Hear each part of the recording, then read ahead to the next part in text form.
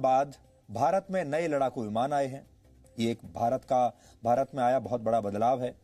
और 34 वर्षों के बाद भारत में नई शिक्षा नीति की घोषणा की गई है। यानी भारत में आज दो बहुत बड़े बदलाव हुए हैं। इसलिए रफाल के बाद अब हम नई शिक्षा नीति की बात करेंगे। कहते हैं जब किसी देश में कोई बड़ा बदलाव करना हो तो सबसे पहले उसकी शिक्षा नीति को बदलना चाहिए। और आज इसकी शुरुआत हो गई है। भारत सरकार के मानव संसाधन विकास मंत्रालय ने आज इस नई शिक्षा नीति की घोषणा की है। इसलिए आज हम आप सबको बताएँगे कि इससे देश के तमाम छात्रों, उनके परिवार और उनके माता पिता के जीवन में अब क्या क्या बदलाव आने वाले हैं। अगर आप छात्र हैं या किसी छात्र के माता पिता हैं तो आपको ये सारी जानकारियाँ बहुत ध्यान से सुननी चाहिए और अगर आप चाहें तो नोट भी कर सकते हैं। तो अब आपको बड़े बड़े बदलाव बताते हैं। अब तक भारत की स्कूली शिक्षा व्यवस्था 10 प्लस टू के फॉर्मेट पर चलती थी। लेकिन अब इसे five plus three plus three plus four के फॉर्मेट में बदल दिया गया है। इसके तहत स्कूल के पहले पाँच वर्षों की पढ़ाई फाउंडेशन स्टेज मानी जाएगी। यानी इस दौरान छात्रों के लिए मज़बूत नींव तैयार की जाएगी। इसका करिकुलम एनसीईआरटी द्वारा तैयार किया जाएगा और इसमें प्री प्राइमरी के तीन वर्ष और पहली और दूसरी कक्षा का एक एक वर्ष शामिल होगा।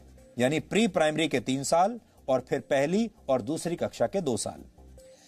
इसके तहत बच्चों को खेल कूद और अलग अलग गतिविधियों के ज़रिए पढ़ाई कराई जाएगी। यानी इन कक्षाओं के छात्रों के लिए किताबों का बोझ अब पहले जितना नहीं होगा। इसलिए हम कहेंगे कि जो छोटे बच्चे अब स्कूलों में जाएँगे और अपने शिक्षा की यात्रा को आरंभ करेंगे, वो बहुत किस्मत वाले होंगे। इसके बाद अगले तीन साल, यानी तीसरी कक्षा से पांचवी कक्षा तक की पढ़ाई के दौरान छात्रों को भविष्य के लिए तैयार किया जाएगा। इसके तहत छात्रों का परिचय, विज्ञान, गणित, कला, सामाजिक विज्ञान और ह्यूमैनिटीज जैसे विषयों से करवाया जाएगा। इसके अगले तीन साल मिडिल स्टेज माने जाएँगे और इसमें कक्षा छह से लेकर कक्षा आठ तक के छात्र शामिल होंगे। इस स्टेज में छात्रों को तय पाठ्यक्रम के मुताबिक पढ़ाया जाएगा। और इसके बाद नौवीं से बारहवीं कक्षा तक इस फॉर्मेट की चार वर्षों वाली आखिरी स्टेज होगी। ये चार साल की स्टेज होगी। इसमें छात्रों में किसी विषय के प्रति गहरी समझ पैदा की जाएगी। उनकी विश्लेषण क्षमता को बढ़ाया जाएगा और उन्हें जीवन में बड़े लक्ष्य निर्धारित करने के लिए प्रेरित किया जाएगा। लेकिन सबसे महत्वपूर्ण बात यह है कि अब स्कूलों में पहले जैसा स्ट्रीम सिस्टम नहीं होगा। इसका मतलब यह है, यानी अगर आर्ट्स का कोई छात्र फिजिक्स की पढ़ाई करना चाहता है तो अब वो ऐसा कर पाएगा। और अगर अकाउंट्स का कोई छात्र, कॉमर्स का कोई छात्र इतिहास की पढ़ाई करना चाहता है तो वो भी ऐसा कर सकता है। लेकिन संभव है कि इसके लिए अलग अलग विषयों का एक पूल तैयार किया जाएगा और आपको उस पूल से ही अपनी पसंद के विषयों का चुनाव करना होगा। यानी अगर विज्ञान के छात्र को इतिहास में दिलचस्पी है और उसके पूल में ये दोनों विषय शामिल हैं तब ही छात्र इनकी पढ़ाई एक साथ कर सकता है। हालाँकि अभी इस पर पूरा स्पष्टीकरण आना बाकी है, लेकिन पहले की जो व्यवस्था होती थी, हमारे यहाँ तीन स्ट्रीम्स मानी जाती थी, या तो आप साइंस लेते थे, या कॉमर्स लेते थे, या आर्ट्स, यानी ह्यूमैनिटीज लेते थे। और अगर आपने ह्यूमैनिटीज लिया है तो आप साइंस नहीं पढ़ सकते। अगर आपने कॉमर्स लिया है तो भी आप शायद साइंस नहीं पढ़ सकते। साइंस लिया है तो ह्यूमैनिटीज नहीं पढ़ सकते। ऐसी चीज़ें पहले हुआ करती थी अभी तक। लेकिन अब ये सब बदल जाएगा। अब आप फिजिक्स भी पढ़ सकते हैं कॉमर्स भी पढ़ सकते हैं अकाउंट्स पढ़ सकते हैं एक साथ, इतिहास भी पढ़ सकते हैं और फिजिक्स की पढ़ाई भी कर सकते हैं। दूसरी महत्वपूर्ण बात यह है कि पांचवी कक्षा तक की पढ़ाई अब मातृभाषा, स्थानीय भाषा और आपकी राष्ट्रभाषा में ही होगी। यानी अंग्रेज़ी में पढ़ाई की अनिवार्यता नहीं समाप्त, अनिवार्यता समाप्त नहीं होगी। माफ़ कीजिएगा अनिवार्यता समाप्त हो जाएगी। अब अंग्रेज़ी में पढ़ाई की अनिवार्यता अनिवार्यता नहीं रहेगी। ये एक बहुत बड़ा बदलाव है। आप अपनी राष्ट्रभाषा में या अपनी लोकल भाषा में पढ़ाई कर पाएँगे।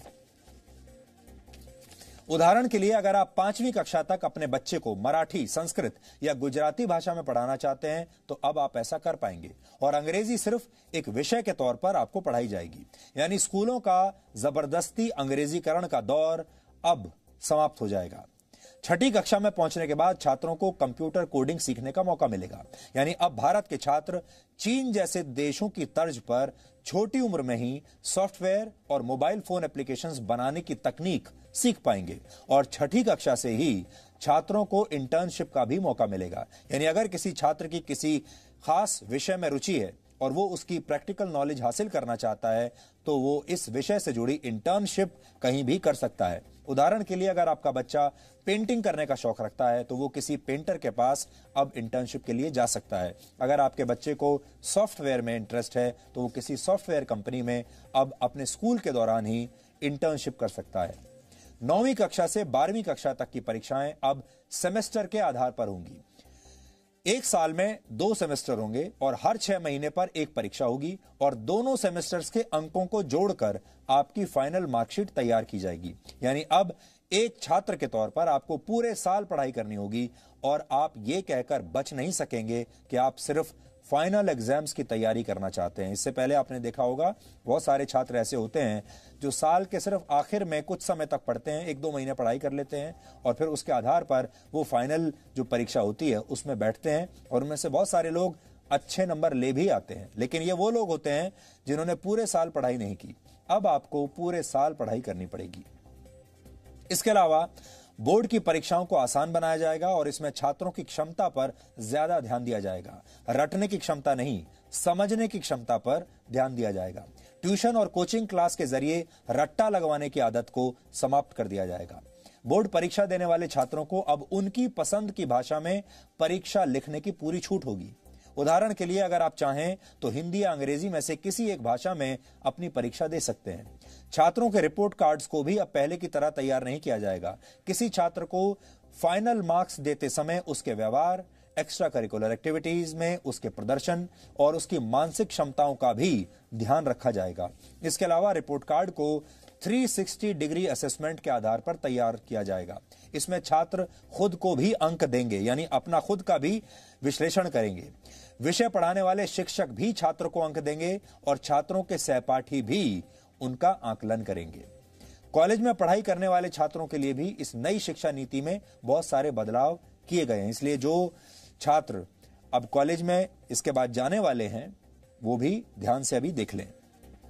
अब देश के छात्र कॉलेज में एडमिशन के लिए कॉमन एप्टीट्यूड टेस्ट दे पाएँगे। इसका अर्थ यह है कि अगर बारहवीं कक्षा के बोर्ड एग्ज़ाम्स में आपके ठीक नंबर नहीं आए हैं, या आपके मार्क्स इतने नहीं आए हैं कि आपको कट ऑफ़ परसेंटेज के आधार पर सीधे किसी कॉलेज में एडमिशन मिल पाए तो आप कॉमन एप्टीट्यूड टेस्ट भी दे सकते हैं और फिर इस टेस्ट में आपके प्रदर्शन को आपके बारहवीं कक्षा के नंबरों के साथ जोड़ दिया जाएगा और उस आधार पर आपको आपके मनपसंद कॉलेज में एडमिशन मिल पाएगा।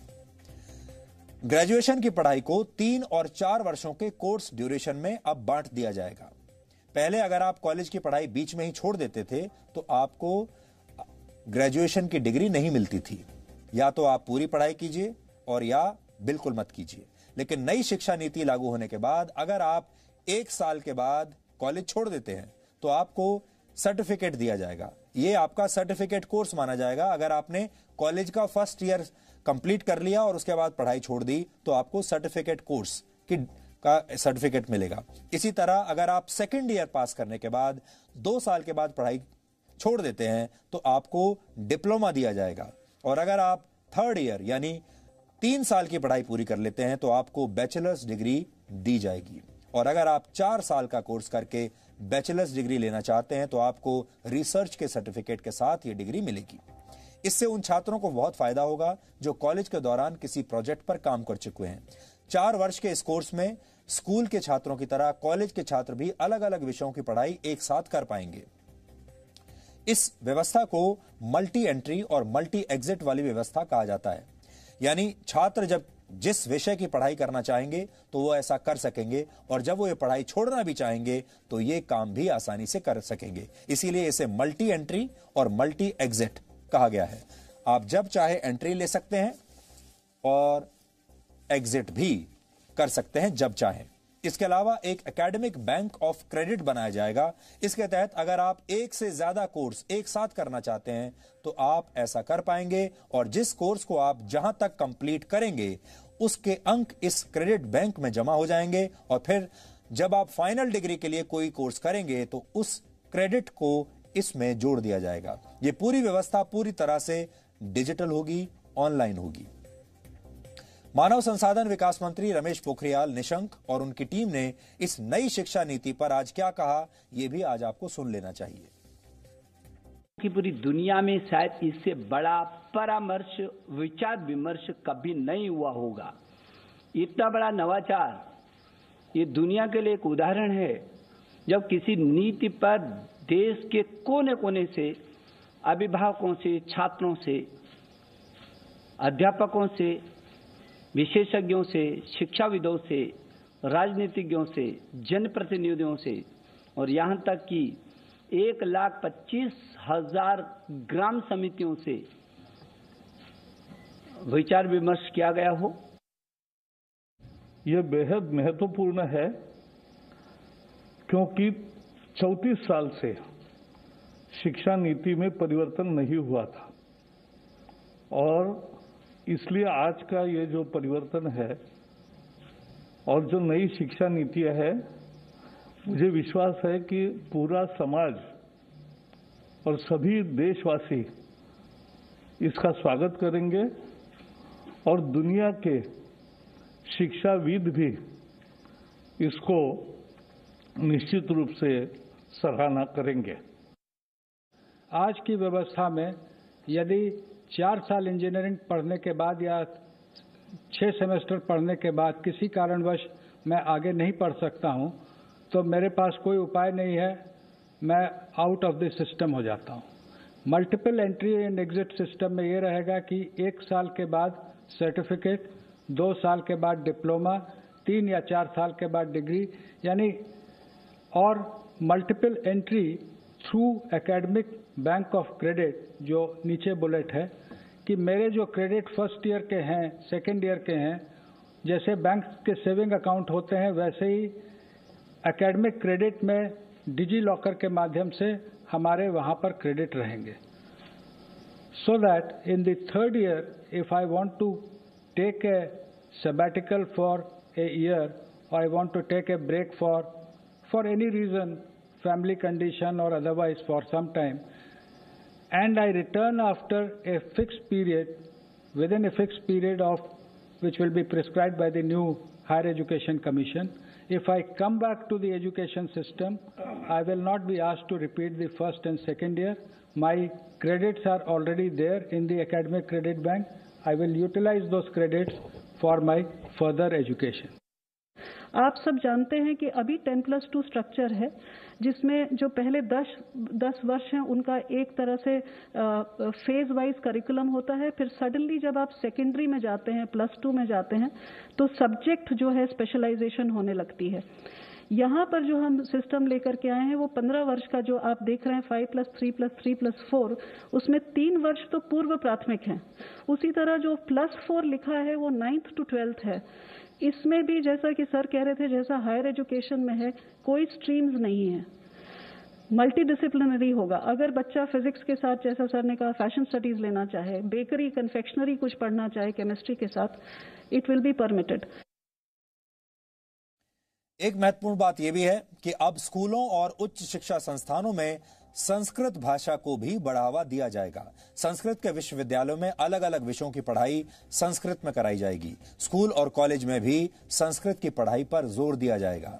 आईआईटीज की शिक्षा व्यवस्था को भी पहले से ज़्यादा समग्र बनाया जाएगा और अब इन उच्च शिक्षा संस्थानों में आर्ट्स और ह्यूमैनिटीज के विषय भी पढ़ाए जाएँगे। इससे आर्ट्स और ह्यूमैनिटीज के छात्र विज्ञान की जानकारियों का इस्तेमाल दूसरे क्षेत्रों में अपनी स्किल्स को बेहतर करने के लिए कर पाएँगे। कुल मिलाकर, अब देश की शिक्षा व्यवस्था ऐसी होगी कि छात्र व्यावहारिक ज्ञान हासिल करके देश के लिए बड़े बड़े आविष्कार कर पाएँगे। संगीत, कला और साहित्य को देश के हर कॉलेज में पढ़ाया जाएगा और अब उन पेरेंट्स को और छात्रों के लिए भी एक महत्वपूर्ण जानकारी है जो स्कूल और कॉलेज की फ़ीस को लेकर हमेशा चिंतित रहते हैं। इसके तहत नए नियम निर्धारित किए जाएँगे और स्कूल और कॉलेज एक निश्चित फ़ीस से ज़्यादा पैसा आपसे नहीं ले पाएँगे। अब आप ये सोच रहे होंगे कि नई शिक्षा व्यवस्था, ये नई नीति लागू कब से होगी? तो यहाँ आपको बता दें कि इसके लिए जो बिल तैयार किया गया है, उसका नाम है नेशनल हायर एजुकेशन बिल। इस बिल को फ़िलहाल कैबिनेट ने मंजूरी दे दी है और अब इसे संसद में पेश किया जाएगा और इसके बाद ये कानून की शक्ल ले लेगा और फिर राज्य सरकारों को भी इस पर कानून बनाकर अपने अपने राज्यों में इसे लागू करना होगा। इसी शिक्षा नीति की घोषणा के साथ मानव संसाधन विकास मंत्रालय का नाम भी अब बदल दिया जाएगा और अब इसका नाम हो जाएगा शिक्षा मंत्रालय, जो कि बहुत सरल है और ये बात ये काम बहुत पहले कर देना चाहिए था। नई शिक्षा नीति को तैयार करने के लिए दो लाख से ज़्यादा लोगों की राय ली गई। और इसी के बाद इस नई शिक्षा नीति की घोषणा की गई है। यह शिक्षा नीति वर्ष 2021 और 2022 के एकेडमिक सेशन तक लागू हो जाएगी। यानी आपका जो अगला एकेडमिक सेशन होगा, जो 2021 में शुरू होगा, वो इस नई शिक्षा नीति के साथ, नए नियमों के साथ लागू होगा। इस नीति की घोषणा आज शाम को ही हुई है। इसलिए हमारी टीम अब भी इसका विश्लेषण कर रही है, क्योंकि ये जो पूरी शिक्षा नीति है, इसे पढ़ने में अभी और बहुत समय लगेगा। इसकी बहुत सारी क्वेरीज हैं। हमारे मन में भी इसे लेकर बहुत सारे सवाल हैं। इसलिए हमारी जो टीम है, हमारे रिपोर्टर्स की टीम, हमारा न्यूज़ रूम और हमारे जो रिसर्च करने वाली जो टीम है, वो लगातार इसे पढ़ रही है, इसका विश्लेषण कर रही है। बहुत सारी बातें ऐसी हैं जिनमें हम भी सरकार से और सवाल करना चाहते हैं। इसलिए हम धीरे धीरे इसका विश्लेषण करते रहेंगे अलग अलग पार्ट्स में अलग अलग फेजेज में, और वो विश्लेषण हम आप तक पहुंचाते रहेंगे। और हो सकता है कि अभी इसकी कई बातों पर सरकार की तरफ़ से आगे आने वाले समय में और भी स्पष्टीकरण आए।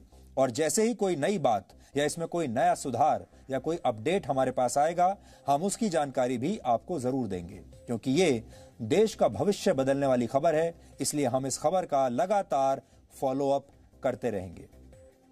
वैसे तो आपने देखा होगा, हमारे देश का जो मीडिया है, वो अलग अलग खबरों में व्यस्त रहता है, लेकिन हमें यह लगा कि आज की जो सबसे महत्वपूर्ण खबर है, वो यही है, क्योंकि ये खबर सीधे आपके बच्चों के ज़िंदगी पर उनके जीवन पर असर डालेगी और आपके बच्चों के जीवन पर अगर असर डालेगी तो आपके जीवन पर तो असर ज़रूर ही डालेगी।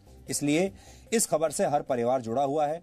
आप भी इस नई शिक्षा नीति को अच्छे से पढ़ लीजिए, समझ लीजिए। अगर आपको कोई बात समझ में नहीं आ रही है तो आप हमें लिख सकते हैं। हम सरकार से बात करके आपके मन में अगर कोई शंका है तो उसे दूर करने की आगे भी कोशिश करेंगे। Presenting news app available on Google Play and App Store. Download it now.